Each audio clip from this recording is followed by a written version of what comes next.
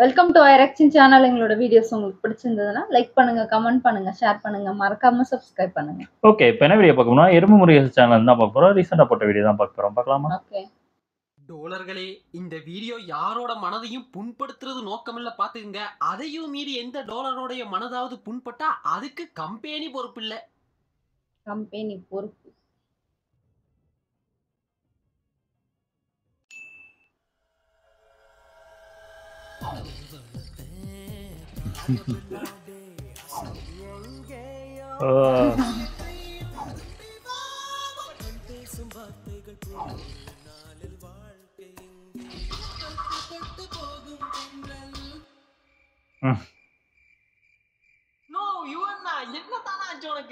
நம்ம என்னதான் ஆச்சு? ஓஹோ. பழைய யுவன் வேணும்.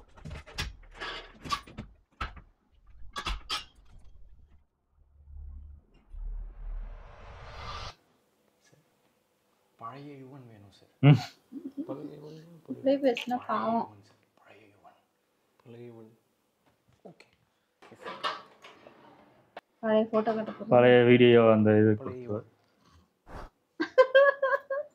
தான் அதாவது என்னன்னாங்க பழைய யுவன் எங்க ப்ரோ அப்படின்ற டாக் ரீசெண்டா சோஷியல் மீடியால அதிகமா இருந்தாலுமே கூட நம்ம தளபதியோட கோட் படத்தோட ஃபர்ஸ்ட் சிங்கிள் வந்தப்போ அதாங்க இந்த விசில் போட சாங் ரிலீஸ் ஆனப்போ இந்த டாக் பீக்ல இருந்ததுன்னு சொல்லலாம். எல்லாருமே யுவனை போட்டு அடிச்சுன்னு இருந்தானுங்க. எங்களுக்கு பழைய யுவன் தான் வேணும். என்னையா பாட்டு இது? நோ ஃபயர் பத்தலனா இது எந்த அளவு தூரம்னா தலைவனே ஒரு கட்டத்துல டிப்ரெஷன் ஆகி இன்ஸ்டா அக்கௌண்ட். டீஆக்டிவேட் பண்ணிட்டு போயிட்டாப்ல. அப்புறம் வளம போல வந்து ஒரு சில தொழில்நுட்ப. கோளாறுகள் காரணமாக சீமோர் அப்படின்னு ஒரு ட்விட்டர் போட்டாப்ல. இப்போ அது வேற சமாச்சாரம் அதை விட்டுருவோம். பட் அன்னைக்கு யுவன அடிச்சப்போ அந்த அடியை சரிபாதியா பிரிச்சு எடுத்துக்கிறதுக்காக நம்ம லிரிசிஸ்ட் மதன் கார்கி இருந்தாப்ல. ஏன்னா அந்த பாட்டோட மியூசிக் எவ்வளவு சுமாரா இருந்ததோ அதை விட சுமாரா அந்த பாட்டோட லிரிக்ஸ் எல்லாம் இருந்தது. பட் இன்னைக்கு அதாவது இந்த வீடியோ செஞ்சுக்கிட்டு இருக்க ஜூன் இருபத்தி ரெண்டாம் தேதி அன்னைக்கு கோட் படத்தோடைய பர்த்டே கிளிம்ஸையும் அதோட செகண்ட் சிங்கிளையும் பார்த்துட்டு யுவன் அடிக்கும் பொழுது அந்த அடியை பிரிச்சு எடுத்துக்கிறதுக்கு யாருமே இல்லை.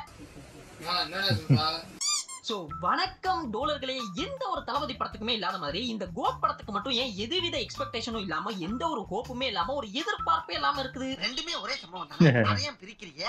அண்ட் எல்லாருமே கேக்குற மாதிரி அந்த பழைய யுவன் தான் யாரு ப்ரோ அவர் என்னத்தான் ஆனாரு அப்படின்றத தாங்க பார்க்க போறோம். அப்போ ஆரம்பிக்கலாங்களா. எருமையா நான் இந்த கோட் படத்துல இருந்தே வந்துடுறேனே. கோட் படத்துடைய ஃபர்ஸ்ட் சிங்கிள் விசில் போட் ஆகட்டும் சரி இப்போ வந்திருக்கக்கூடிய சின்ன சின்ன கண்கள் ஆகட்டும் சரி அவ்வளவு மொக்கையாவா இருக்குது கேட்கவே முடியல ஆனா அப்படிலாம் கிடையாதுங்க. அவ்வளவு ஏன் ஃபர்ஸ்ட் சிங்கிள் விசில் போட விட இந்த சின்ன சின்ன கண்கள் அவ்வளவு பிரமாதமா இருக்குது. அதுவும் தளபதியுடைய அந்த மெல்டிங்கான வாய்ஸ்ல ஒரு மெலடியை கேட்கும் பொழுது அப்பப்பப்பப்பா. மழை பொழிகிற இரண்டாம் நாளில் விழும் துளியில் அப்ப என்னத்தான் என் பிரச்சனை? ஏன் இவனை போட்டு எல்லாரும் அடிச்சுன்னு இருக்கானுங்க? அந்த பழைய. இவன் தான் எங்க? அப்படின்னு நீங்க கேட்கலாம். என்னத்தான் பாட்டும் இப்போ ரிலீஸ் பண்ணிருக்கக்கூடிய கிளிம்ஸ்ல இருக்கக்கூடிய பிஜிஎம்னு எல்லாமே நல்லா இருந்தாலும் அந்த பாட்டுலயும் அந்த கிளிம்ஸோட பிஜிஎம்ல அந்த அந்த அந்த- ஒரு அது மிஸ் ஆகுதுங்க. எதுடா மிஸ் ஆகுதுன்னா எக்ஸாம்பிள் சொல்றேன் கேளுங்க. இப்போ உங்களுக்கே தெரியாத ஒரு சாங்க புதுசா கேக்குறீங்கன்னு வைங்க. அந்த சாங்க கேட்கும் பொழுது யோ இந்த பாட்டு அனிருத்தாயா போட்டது? இல்ல யுவனா போட்டது? இல்ல ஹாரிஷா போட்டது? இல்ல இமானா போட்டதுன்னு ஏதோ ஒரு மியூசிக் டைரக்டருடைய பேரை சொல்ல வைக்குதுல. அந்த அதுதாங்க இதுல மிஸ்ஸிங் புரியுற மாதிரி சொல்லணும்னா ஒவ்வொரு மியூசிக் டைரக்டர்ஸ்க்கும் ஒரு பர்சனல் டச்ன்றது இருக்கும். இந்த பர்சனல் டச் தான் எனக்கு அனிருத்தோடைய சாங் பிடிக்கும் எனக்கு யுவனோட சாங் பிடிக்கும்னு நமக்கு அந்த பாட்டை தனியா ஐடென்டிஃபை பண்ண வைக்குது. அவ்வளவு ஏன் அந்த பர்சனல் டச்சுக்கு தான் நாங்க ஃபேனாவே இருப்போம். ஆனா ரீசெண்டா வரக்கூடிய யுவனுடைய சாங்ஸ்ல எல்லாம் பாத்தீங்கன்னா எங்கேயோ அந்த யுவனோட டச் இல்லாம வெறும் பிளெயினா இருக்க மாதிரியே ஃபீல் ஆகுது. முக்க பாட்டெல்லாம் அதிகரிச்சிருச்சு பழைய யுவனை காணோம். பழைய யுவன் வேணும் சார் இப்போ ரீசெண்டா வந்து யுவனுடைய ஆல்பம்ஸ்ல நல்லா இருக்க சாங்ஸ் கொஞ்சம் ட்ரெண்டியா போன ஆல்பம்னு சொல்லிக்கிற மாதிரி எதுவுமே கிடையாது. எனக்கு தெரிஞ்சு லாஸ்டா யுவனோட நல்லா இருந்த ஆல்பம்னா அது லவ் டுடே தான். அந்த படத்துல பிஜிஎம்மே கூட நல்லா பண்ணிருப்பாப்ல. ஆனா அந்த படம் எப்போ வந்ததுன்னு யோசிச்சு பாருங்களேன். டூ தௌசண்ட் டுவெண்ட்டி டூ அதுக்கு பின்னாடி இன்னைக்கு வரைக்குமே நிறைய படத்துக்கு மியூசிக் பண்ணிட்டாப்ல. ஈவன் தோ நல்லா ஓடின படத்துக்கு கூட இந்த இயர் ரிலீஸ் ஆன கருடன் ஸ்டார் லாஸ்ட் இயர் வந்த காஞ்சூரிங் கண்ணப்பன்னு ஓரளவு நல்லா ஓடின படங்களுக்கெல்லாம் கூட மியூசிக் பண்ணிருக்காப்ல. ஆனா இது எதுலயுமே சொல்லிக்கிற மாதிரி ஒரு ஆல்பம் கூட கிடையாது. இது எந்த அளவு தூரத்துக்கு இருக்குன்னா ஸ்டார் படத்துல எல்லாம் பாத்தீங்கன்னா புதுப்பேட்டைக்காக யுவன் ம். ஒரு நாள் சாங். பண்ணிருப்பாங்க. அவ்வளவா யுவன் காஞ்சி போயிட்டாப்ல. பழைய யுவன் வேணும் சார் அப்படியே தூக்கி போட்டார் பழைய ஈவென்ட் பழைய யுவன் வேணும் அதுக்கு என்ன பண்ணலாம்? எங்க தான் போனாரு இங்க பழைய யுவன் அப்படின்னு கேட்டீங்கன்னா இங்க தாங்க அனலாக் மியூசிக் ப்ரொடக்ஷன்னா என்ன டிஜிட்டல் மியூசிக் ப்ரொடக்ஷன்னா என்ன அப்படின்றத புரிஞ்சுக்க வேண்டியது. என்னதான் எங்களோட டே டு டே லைஃப்ல தாத்தா வாராரு விசில் போடுக்கலாம் வைப் பண்ணாலும் நைட் ஆனா இளையராஜா தேவைப்படுறாருல இங்க தாங்க அனலாக் மியூசிக் ப்ரொடக்ஷன் உள்ள வருது. இந்த அனலாக் மியூசிக் ப்ரொடக்ஷன்னா என்னன்னா இளையராஜாவுடைய காலங்கள்ல எல்லாம் பாத்தீங்கன்னா ஒரு படத்துக்கு மியூசிக் போடணும்னா முதலாவது அந்த மியூசிக் அந்த பாட்டு எப்படியெல்லாம் வரப்போகுதுன்றத தன்னோட கற்பனையில உருவாக்கி அதுக்கு என்ன மாதிரியான இன்ஸ்ட்ருமெண்ட்ஸ் எல்லாம் யூஸ் பண்ணணுமோ அதை அவங்களே ரியலாவோ இல்ல அதுக்கான டீமை வச்சோ வாசிச்சு அதை ரெக்கார்ட் பண்ணி அதை மியூசிக்கா பண்ணிட்டு இருந்தாங்க. இதைத்தான் அனலாக் மியூசிக் ப்ரொடக்ஷன் சொல்லுவாங்க. இதுல எந்த ஒரு இன்ஸ்ட்ருமெண்ட்ஸ் யூஸ் பண்ணியிருந்தாலும் என்ன மாதிரியான மியூசிக் வந்தாலும் அது அவங்களுடைய கற்பனையில உருவாக்கி அவங்களா வாசிச்சதா இருக்கும். அதனால தான் இன்னைக்குமே கூட இளையராஜாவுடைய சாங்ஸ் எல்லாம் கேட்கும் பொழுது அவ்வளவு ஆத்தென்டிக்கா ஒரு சோல்ஃபுல்லா இருக்கிறதுக்கான காரணம் ஆனா இண்டஸ்ட்ரி டிஜிட்டலா கன்வெர்ட் ஆகும் பொழுது தான் பிரச்சனையே வருது. இந்த டிஜிட்டல் மியூசிக் ப்ரொடக்ஷனுடைய என்ட்ரி இப்போ இந்த டிஜிட்டல் மியூசிக் ப்ரொடக்ஷன்னா என்னன்னா முன்ன இருந்த மாதிரியே மியூசிக்க அவங்களே வாசிச்சு அவங்களே தான் ரெக்கார்ட் பண்ண போறாங்க. என்ன ஒரே ஒரு வித்தியாசம்னா இங்க பல மியூசிக் சாஃப்ட்வேர்ஸும் அதுல இருக்கக்கூடிய ஆடட் அட்வான்டேஜஸ் ஆன. டிஜிட்டல் டூல்ஸ் ஆல்ரெடி அதுலயே இருக்கக்கூடிய loops digital audio work stations virtual instruments digital எஃபெக்ட்ஸ்னு இதெல்லாமே உங்களுக்கு ஹெல்ப் பண்ண போகுது. உண்மையை சொல்லணும்னா நைன்டீன் எயிட்டி சிக்ஸ்ல உலகநாயகன் கமலஹாசன் இளையராஜா கூட்டணியில வெளிவந்த விக்ரம் படத்திலேயே இந்த டிஜிட்டல் டெக்னாலஜி எல்லாம் மியூசிக் இண்டஸ்ட்ரிக்குள்ள கொண்டு வந்துட்டாங்க. ஆனா கொண்டு வந்த ஸ்டார்டிங்ல எல்லாம் பாத்தீங்கன்னா ஜஸ்ட் இது வரைக்கும் அனலாகா ரெக்கார்ட் பண்ணிக்கிட்டு இருந்ததை டிஜிட்டலா ரெக்கார்ட் பண்றதுக்கு மட்டுமே தான் இதை யூஸ் பண்ணாங்களே தவிர இதுல இருக்கக்கூடிய நான் முன்ன சொன்ன மாதிரியான ஆடட் அட்வான்டேஜஸ் எல்லாம் யூஸ் பண்ண கிடையாது. இப்போ அதெல்லாம் பண்றாங்க. யுவன் ஹாரிஸ் ஜெயராஜ் இவங்களுடைய என்ட்ரி எல்லாம் இவங்க எல்லாம் இண்டஸ்ட்ரிக்குள்ள வரும் பொழுது இண்டஸ்ட்ரி எப்படி இருந்ததுன்னா still music industry traditional music நம்பி தான் இருந்தது. அந்த மியூசிக்க அந்த பாட்டை மேலும் மெருகேற்ற ஒரு டேஸ்ட் கொடுக்கணுன்றதுக்காக மட்டுமே டிஜிட்டல் டூல்ஸ் எல்லாம் யூஸ் பண்ண தொடங்குறாங்க. அதுதான் யூஸ்வலா சொல்லுவாங்க இந்த ஏஆர் ரஹ்மான்லாம் வந்த புதுசுல ஒரு இசை புரட்சியே கொண்டு வந்தாருன்னு ஒரு பெரிய லெஜெண்ட் வந்து அப்படியே கோல் வச்சுக்கிட்டு இருக்காரு அப்படியே இளையராஜா. அது நடுவில் ஒருத்தன் வந்து ஒரு பையன் வந்து அப்படி நிப்பாட்டி போட்டு அடிச்சு விரட்டிட்டான் உருட்டிட்டான். இந்த ஏஆர் ரகுமான் யுவன் ஹாரிஸ் ஜெயராஜ் இவங்களுடைய மியூசிக் ஜேர்னியுடைய ஸ்டார்டிங் எல்லாம் எப்படி இருந்ததுன்னா ஒரு பாட்டுக்கான மியூசிக் அதுக்கு தேவையான அந்த பேஸ் இருக்குதுல்ல அது அவங்களே தான் உருவாக்குனாங்க. அவங்களே தான் அதை வாசிச்சு அதை கிரியேட் பண்ணாங்க. ஆனா அதுக்கு ஒரு டேஸ்ட் ஒரு ஆடட் அட்வான்டேஜ் கொடுக்கணுன்றதுக்காக மட்டுமே தான் நான் முன்ன சொன்ன மாதிரியான டிஜிட்டல் டூல்ஸ் எல்லாம் யூஸ் பண்ண தொடங்கினாங்க. சோ அப்போலாம் பாத்தீங்கன்னா அந்த மியூசிக் ஸ்டில் ட்ரெடிஷனல் மியூசிக்கை நம்பி இருந்ததால அந்த சோல்ஃபுல்னஸ் அவங்களுடைய பாடல்கள்ல இருந்தது. அதுதான் நீங்களாம் இப்ப சொல்லக்கூடிய அந்த பழைய யுவன் பழைய ஏஆர் ரகுமான் பழைய ஹாரிஸ் ஜெயராஜ் இவங்கெல்லாம் அவங்களுடைய ஓன் மியூசிக்கு டிஜிட்டல் டூல்ஸ் மூலமா ஒரு டேஸ்ட் கொடுத்தாங்க. அவங்க அவங்களுக்குன்னு ஒரு ஸ்டைல் வச்சிருந்தாங்க. அதுக்கப்புறமா தான் இந்த அனிருத் காலம் ஸ்டார்ட் ஆகுச்சு. இதுக்கு நான் அனிருத் காலம் அப்படின்னு சொல்றதுக்கு ஒரு காரணமும் இருக்குதுங்க. இந்த டிஜிட்டல் மியூசிக் ப்ரொடக்ஷனுடைய பீக் தாங்க இந்த லூப் எல்லாம் லூப்ஸ்னா என்னன்னா ஒன்றும் கிடையாது. இந்த மியூசிக் சாஃப்ட்வேர்ஸ்லயோ இல்ல ஆன்லைன்லயோ மியூசிக் ஆர்டிஸ்ட் தான் இருக்காங்கல்ல அவங்க எல்லாம் ஓனா ஒரு மியூசிக்கை கிரியேட் பண்ணி அதை சேல்ஸுக்காக வச்சிருப்பாங்க. அதை யாரு வேணாலும் வாங்கி யூஸ் பண்ணலாம். நீங்களும் நானும் யாரு வேணாலும் யூஸ் பண்ணலாம். இப்போ இதோட பீக் தான் ஏஐ வச்சு ஜஸ்ட் வாயில ஹம் பண்றது மூலமா இப்போ மியூசிக்கை கிரியேட் பண்ணிட முடியுது. இதுதான் ஃபியூச்சருமே கூட. சரி நம்ம மேட்ருக்கு வருவோம். இப்போ இந்த அனிருத்தோட என்ட்ரி எல்லாம் டிஜிட்டல் மியூசிக் ப்ரொடக்ஷன் பீக்ல இருந்த பீரியட்ல நடக்குது. சோ இண்டஸ்ட்ரிக்குள்ள வரும் பொழுதே மனுஷன் கரண்ட்ல இருக்கக்கூடிய ட்ரெண்ட் அதை பத்தின பக்காவான நாலேஜோட உள்ள வராப்ல. என்ன கேட்டா வைதிஸ் கொலவெளியில இருந்து கோகோ படத்துல வந்த கல்யாண வயசு தான் சாங் இப்போ இந்தியன் டூல வந்திருக்கக்கூடிய ஆல்பம்னு அனிருத் போட்டிருக்கக்கூடிய எல்லா மியூசிக்லயும் கண்டிப்பா ஒரு லூப்பாவது யூஸ் பண்ணாத சாங்கே கிடையாதுன்னு சொல்லலாம். அதுவும் இந்த கல்யாண வயசு சாங்கெல்லாம் லூப்புக்கு சொந்தக்காரன் காப்பிரைட் அடிச்சு யூடியூப்ல தூக்குன விஷயத்தெல்லாம் கேள்விப்பட்டிருப்பீங்க. அது போல இன்னைக்கு தேதிக்கு லூப் யூஸ் பண்ணாத மியூசிக் டைரக்டர்ஸே கிடையாது. அவ்வளவு ஏங்க லூப் யூஸ் பண்ணாதவன் மியூசிக் டைரக்டரே கிடையாதுன்ற நிலைமைக்கு இன்னைக்கு வந்துட்டோம்.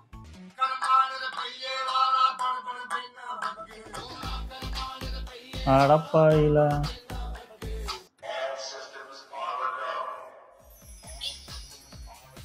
அடங்க.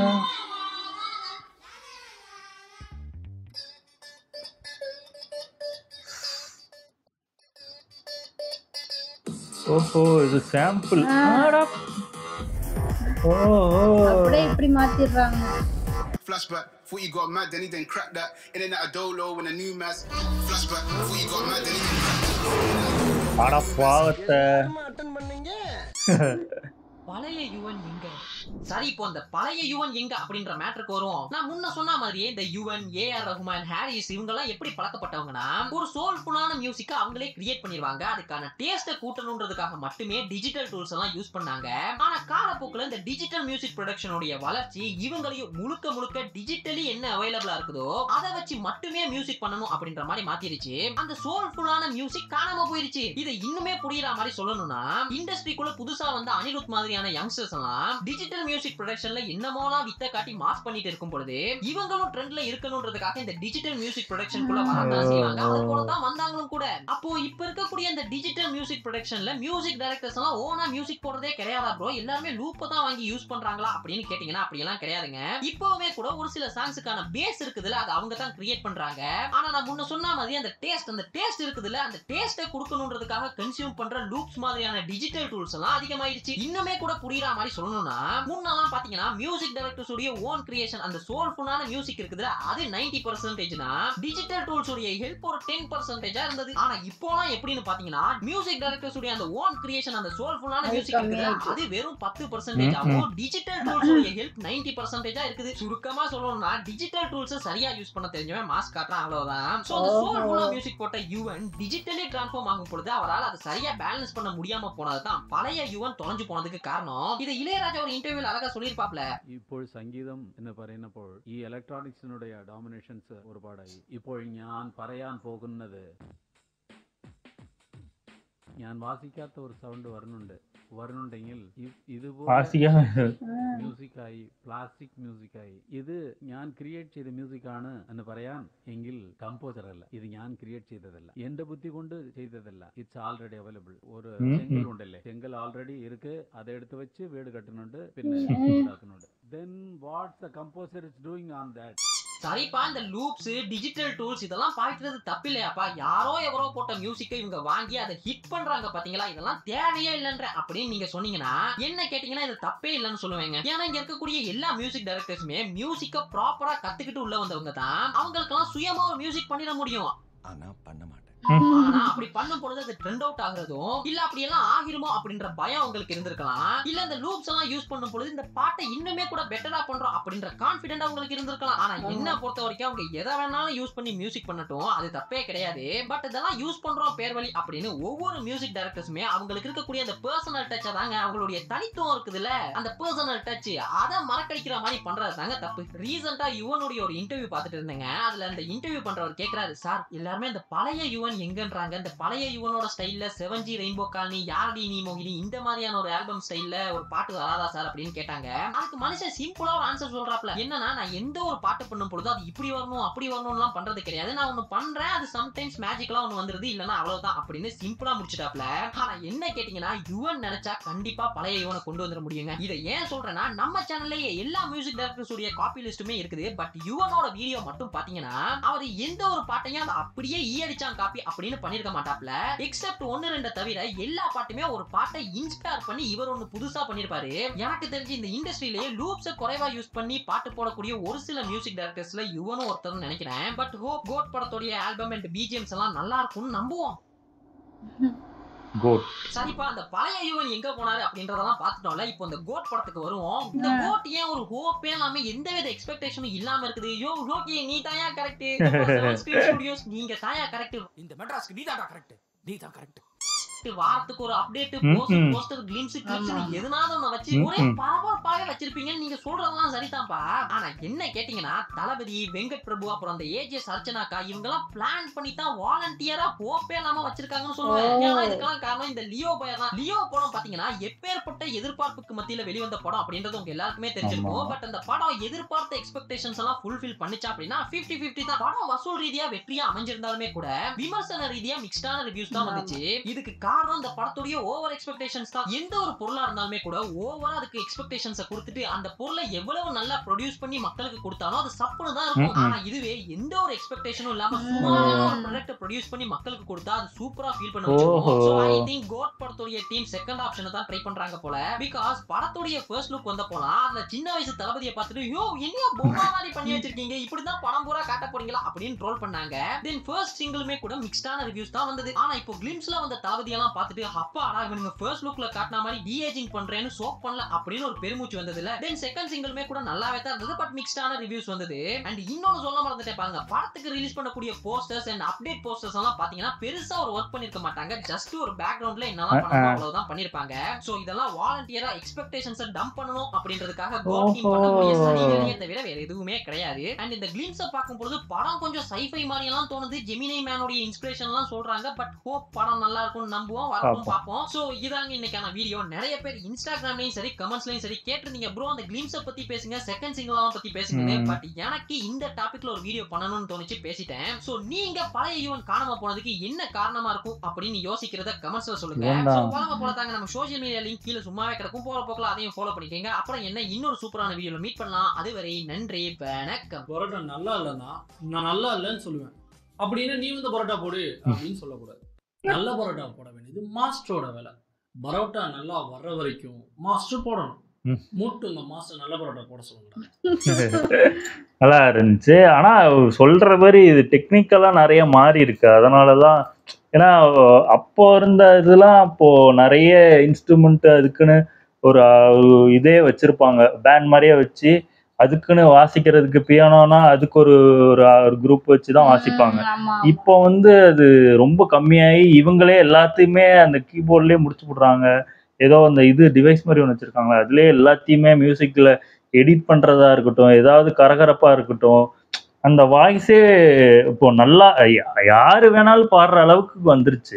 யா யார் பண்ணாலும் சூப்பரா இருக்கிற மாதிரி காட்ட ஆரம்பிச்சிட்டாங்க. இப்போ அதித்தி சங்கரே அந்த ஸ்டேஜ்ல படும்போது எப்படி இருந்துச்சு? ஆனா படத்துல படும்போது எப்படி இருக்கு? அந்த அளவுக்கு மாத்துற அளவுக்கு அந்த டெக்னாலஜி வளர்ந்துருச்சு. அதனால தான் எனக்கு தெரிஞ்சு எல்லாருமே அதை ஃபாலோ பண்ண போய் அது ஈஸியா இருக்குன்னு நினைக்கிறேன். எனக்கு தெரிஞ்சு முன்னாடியை விட இது ஈஸியா இருக்கறனால இதையே இதையே பண்ணிக்கலாம். எதுக்கு அவளை போட்டு கஷ்டப்பட்டுக்கிட்டு இதுக்குள்ளேயே முடிச்சிடலான்னு பாக்குறாங்க போல இருக்கு. ஆமா எனக்கு தெரிஞ்சு அவன் ஈஸியா இருக்கு. எதுக்கு கஷ்டப்படணும்? அப்புறம் உழைப்பு அது போட மாட்டாங்க அந்த அளவுக்கு வாங்குற காசுக்கு அந்த அளவுக்கு பண்றாங்க. போதும். இது இந்த அதான் அந்த லூப்னு சொல்றாங்களா அதை எடுத்து அது அதை நம்ம டிங்கரிங் இது பண்ணிட்டா போதும். இது போதும். இது இது ஹிட் ஆயிரும் அப்படின்னு நினைச்சு விட்டுறாங்க போல இருக்கு. எனக்கு தெரிஞ்சு அதுக்குன்னு ரொம்ப ஈடு கொடுத்து போடுற அளவுக்கு இல்ல. கேட்கணும். இப்படி கேட்டாதான் அவங்க ஐயோ நம்ம இது. நல்லா போல இருக்கு. அப்புறம் ஃபில்டர் ஆயிடுவோம்னு சொல்லிட்டாவது அவங்க ட்ரை பண்ண ஆரம்பிப்பாங்க. இப்படியே இருந்தா அப்புறம் எந்த மியூசிக்குமே ஏற்கனவே தமிழ் இண்டஸ்ட்ரி ரொம்ப அடிமட்டத்துக்கு போயிட்டு இருக்கு மியூசிக்கும் போச்சுன்னா அவ்வளவுதான். மியூசிக் அதான் சொல்றல அனிருத் வந்து இந்த இதுக்கு கரெக்டா இருக்காரு. அதனாலதான் அவரு பயங்கர ஹிட் கொடுத்துக்கிட்டே இருக்காரு. அதனாலதான் அவரு அவர் எக்கச்சக்க படம் அவருக்கு போயிட்டே இருக்கு. இவங்க அதை சரியா யூஸ் பண்ண தெரியலன்னு நினைக்கிறேன். அதனாலதான் நிறைய பேர் அடி வாங்கி காணாம போயிட்டாங்க. கரெக்ட் தான். ஏன்னா அவரு வந்தப்பவே இந்த இதுலயே ஆரம்பிச்சு நம்மள பழக்கிட்டாரு. ஒரு சாங்னா இப்படித்தான் இப்படிதான் இருக்கும் அதனால இவனா இவங்களுதெல்லாம் நம்ம சின்ன வயசுல இருந்தே கேட்டுட்டு இருக்கனால இவங்களுக்கு இப்படி இருக்கும் அப்படின்னு நம்மளோட மைண்ட் இருக்கும். அது ஏத்துக்க மாட்டேங்குது. அவ்வளவுதான். ஆமா. நல்லா இருந்துச்சு. ஓகே எங்க வீடியோஸ் உங்களுக்கு பிடிச்சிருந்தா லைக் பண்ணுங்க ஷேர் பண்ணுங்க கமெண்ட் பண்ணுங்க. மறக்காம சப்ஸ்கிரைப் பண்ணுங்க. எல்லாருக்கும்